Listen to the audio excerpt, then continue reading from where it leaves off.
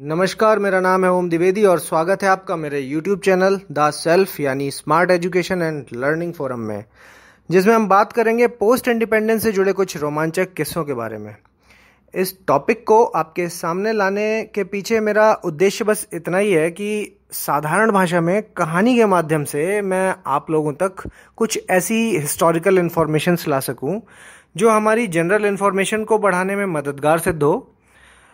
इस कहानी में हमारा ज़्यादा फोकस देश की पॉलिटिक्स की ओर होगा और क्योंकि ये सारी जानकारियाँ किसी एक जगह पर आसानी से नहीं मिलती तो इस कहानी को बनाने में कुछ किताबों का, ऑनलाइन सोर्सेस का और सिविल सेवा संस्थानों से जुड़े मेरे शिक्षकों का बड़ा योगदान है।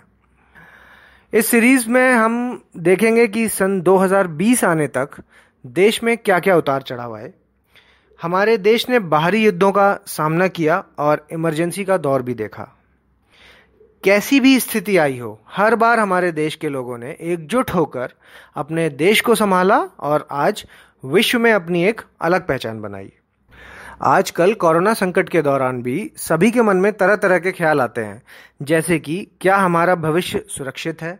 कहीं विश्व वर्ल्ड वॉर थ्री की ओर तो नहीं जा रहा। क्या हम भारत में सुरक्षित हैं?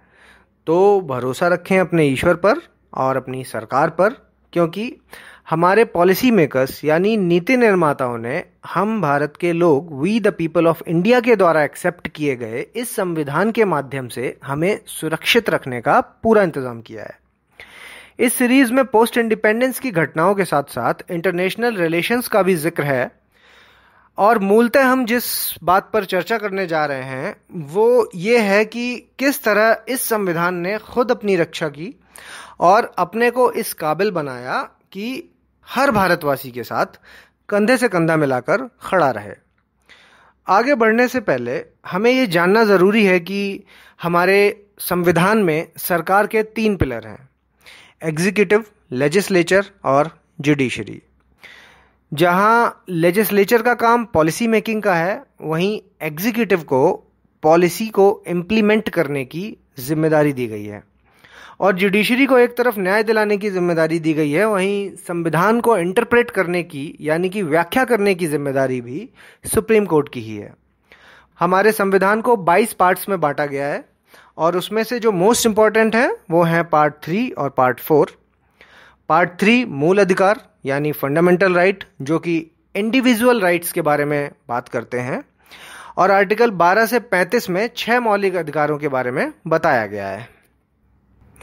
जैसे कि समानता का अधिकार, स्वतंत्रता का अधिकार, शोषण के विरुद्ध अधिकार, धार्मिक स्वतंत्रता का अधिकार, संस्कृति और शिक्षा संबंधी अधिकार और संवैधानिक उपचारों का अधिकार। वहीं पार्ट फोर जो DPSP directive principle of state policy यानी राज्य के नीति निर्देशक तत्व से रिलेटेड है, जो कि वेलफेयर स्टेट की बात करता है मतलब देश को आदर्श राष्ट्र बनाने के लिए सरकार को क्या क्या कोशिशें करनी चाहिए? ये सब आर्टिकल 36 से इक्यावन में दिया गया है।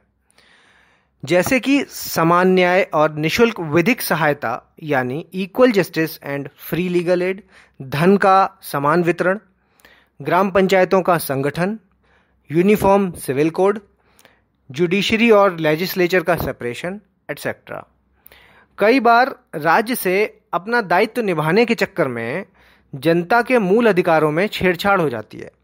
हमारी इस कहानी में भी एक वाक्य जो कि संपत्ति के अधिकार से जुड़ा हुआ है, सामने आएगा, क्योंकि संपत्ति का अधिकार पहले मूल अधिकारों का हिस्सा था, जो कि 1976 में मूल अधिकारों से हटाकर आर्टिकल 301 के तहत लीगल राइट्स में तब्दील कर दिया गया था। दरअसल बात उस समय की है जब हमारा देश आज़ाद हो चुका था और जवाहरलाल नेहरू देश के पहले प्रधानमंत्री बने। वहीं डॉक्टर राजेंद्र प्रसाद को राष्ट्रपति पद के लिए चुना गया। हालाँकि डॉक्टर साहब पहले से ही लगभग इसी तरह के एक पद पर थे, क्योंकि वे कॉन्स्टिट्यूंट असेंबली के प्रेसिडेंट थे।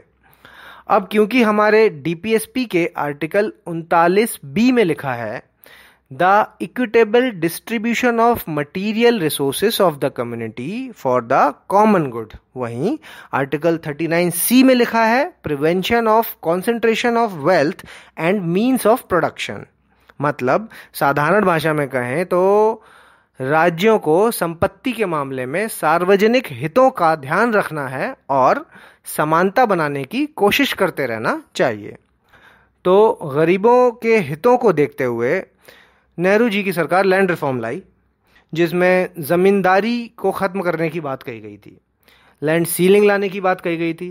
अब सारे ज़मींदारों के बीच खलबली मच गई और सब सुप्रीम कोर्ट के दरवाजे खटखटाने लगे, क्योंकि आर्टिकल इकतीस और आर्टिकल 19 एक एफ़, जो कि उस वक्त राइट टू प्रॉपर्टी के तहत मूल अधिकारियों का हिस्सा थे, और जिसमें दो बात साफ़ साफ़ लिखी गई थी। पहली government can take the property of individual but for the public purpose और दूसरी the compensation amount should be provided to the individual मतलब सरकार अगर किसी की संपत्ति का अधिग्रहण करती है तो एक तो पब्लिक पर्पज होना चाहिए, जो कि यहाँ पर दिख रहा था, और दूसरा, उनको उनकी संपत्ति के बराबर का ही मुआवजा देना होगा। इस मुआवजे वाले पॉइंट के कारण सुप्रीम कोर्ट ने मूल अधिकारों को वरीयता दी और फैसला जमींदारों के हक में चला गया। खैर, आगे चलते हैं। नेहरू जी बड़े ही दूरदर्शी आदमी थे। उन्हें पता था कि सभी विकसित देशों के साथ रहना है तो अपने को सुरक्षित रखना बहुत ज़रूरी है।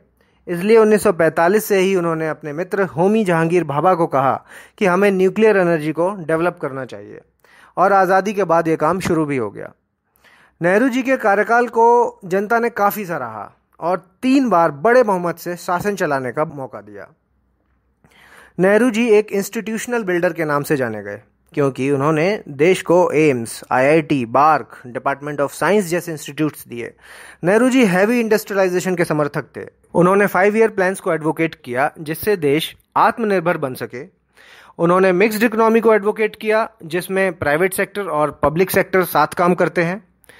कोल्ड वॉर के दौरान जब विश्व यूएसए और यूएसएसआर जैसे दो गुटों में बट गया था और हमें किसी एक को चुनना था, तब हमने इजिप्ट और इंडोनेशिया के साथ मिलकर गुट निरपेक्षता, यानी पॉलिसी ऑफ़ नॉन अलाइनमेंट को अपनाया, जिससे हम दोनों ही गुटों से समान फाइनेंशियल और टेक्निकल सहयोग ले सकें और तनाव के मामले में समान दूरी बना सकें। नेहरू जी के कार्यकाल में पार्लियामेंट ने हिंदू लॉ में कई बदलाव किए और कास्ट डिस्क्रिमिनेशन को क्रिमिनलाइज किया। महिलाओं की सामाजिक स्वतंत्रता को और लीगल एड्स को बढ़ाया। शैक्षिक संस्थानों में और सरकारी सेवाओं में रिजर्वेशन का प्रावधान भी लाया गया ताकि देश में सामाजिक असमानता को दूर किया जा सके। अब उन्नीस सौ बासठ में नेहरू जी तीसरी बार प्रधानमंत्री बने और उस वक्त प्रधानमंत्री और राष्ट्रपति के चुनाव एक साथ ही होते थे और अब पार्टी को चुनना था एक नया राष्ट्रपति। उस वक्त नॉर्थ और साउथ का बैलेंस मेंटेन करने का चलन चलता था। तो पार्टी को एक बहुत ही काबिल आदमी याद आए, जिनका नाम था डॉक्टर सर्वपल्ली राधाकृष्णन, और वे देश के दूसरे राष्ट्रपति बने। उसी साल उन्नीस सौ बासठ में, जहाँ भारत अपनी अर्थव्यवस्था को सुधारने में लगा था, वहीं 20 अक्टूबर उन्नीस सौ बासठ को चाइना ने हम पर हमला कर दिया, जिससे अर्थव्यवस्था तो चरमरा ही गई, और नेहरू जी को इसका बहुत गहरा सदमा लगा। यहाँ तक कहा जाता है कि 1964 में उनकी मृत्यु के कारणों में भी एक बड़ा कारण है। आगे की कहानी मैं आपको अपने अगले भाग में सुनाऊँगा, जिसमें हम देश की राजनीति में हुए बड़े बदलाव देखेंगे, किस तरह शास्त्री जी पीएम बने और फिर इंदिरा जी का रोमांचक कार्यकाल। यहाँ तक अगर मैं आपके अंदर क्यूरोसिटी जगाने में थोड़ा सा भी सफल रहा हूँ तो लाइक सब्सक्राइब ज़रूर कर दीजिएगा। तब तक के लिए